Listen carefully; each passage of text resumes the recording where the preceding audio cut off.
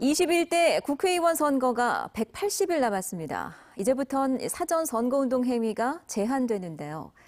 치열한 총선 구도 속에 불법 행위도 많아질 것으로 예상돼 선관위가 본격적인 단속에 나섭니다. 민성빈 기자입니다. 내년 4월 15일 21대 총선의 남은 일수를 알려주는 입간판이 설치됐습니다.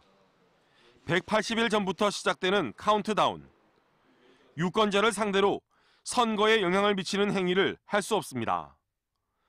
또 선거에 영향을 줄 수 있는 간판과 현수막 등 광고물을 설치하거나 상징물을 제작해도 선거법 위반입니다.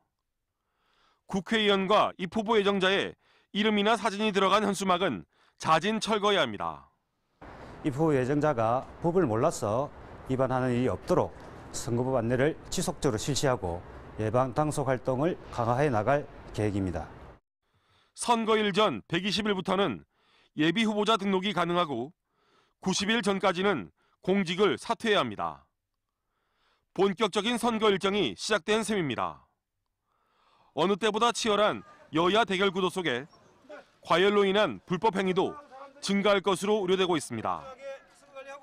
인물과 정책 중심의 선거로 가기 위해선 시민들의 관심이 필수입니다.